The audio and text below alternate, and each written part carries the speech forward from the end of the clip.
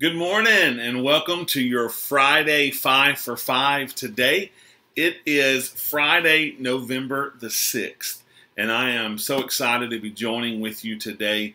Hope you've had a good week, uh, and I hope that you have just been able to focus on Him this week. You know, Pastor Jeremy yesterday talked a little bit about um, an event that took place in the life of our staff at church on Monday, and that's our annual calendar planning. And this is my calendar. This is my calendar from July of this year through December of next year. And so this is my calendar that I use. You can see it's pretty well worn and um, marked up pretty well and got all kind of colors in it. I love colors and I color code my calendar based on different activities, different ministries, and whatnot. And I love to plan. So 2020 has just been tough for me as a planner. Um, from the beginning of, I guess, April, really the end of March throughout the uh, throughout even now, there have been so many spots in this calendar that I have had to white out or I've had to scratch out, and uh, I've just stopped using colored ink and I'm using pencil because changes are coming all the time. In fact, right now, this weekend, our choir should be away at our second choir tour.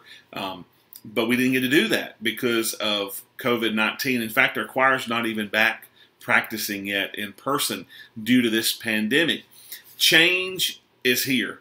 And you know, this life, this year has been full of change and it has been unpredictable. And for a planner like me, that has been tough.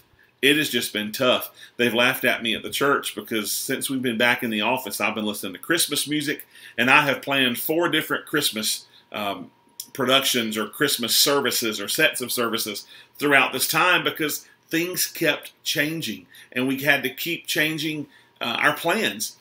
But you know, as I think about the plans changing and my plans changing, there is one that we serve, one that we worship, who will never change.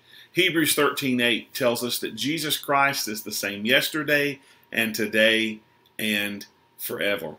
And you know, when I think about about Jesus, when I think about God, I think about what I've read about him, what I've heard taught about him the the stories of him feeding the thousands, the stories of him healing the blind and the lame and the mute and the deaf, the stories of him raising the dead, the stories of him teaching, the stories of him walking on water, the stories of his righteous anger when he turned over the tables of the money changers in the temple.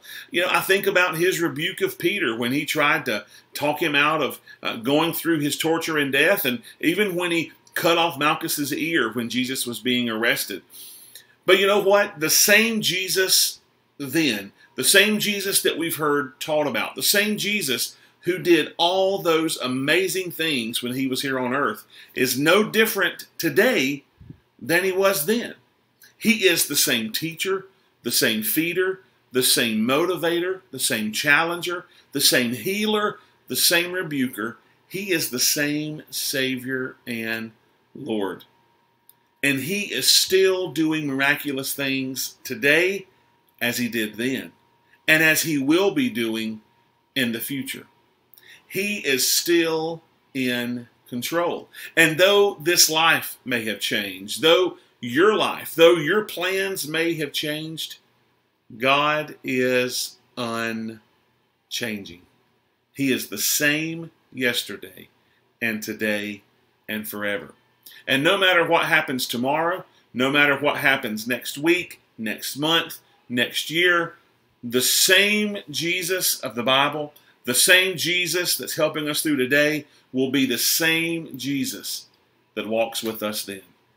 He is the same yesterday, today, and forever. So this morning, I want you to rest in that.